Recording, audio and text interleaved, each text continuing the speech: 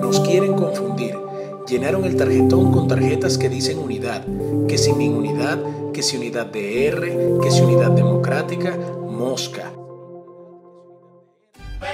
La única tarjeta de la unidad está abajo, a la izquierda, en la esquina, la de la manito.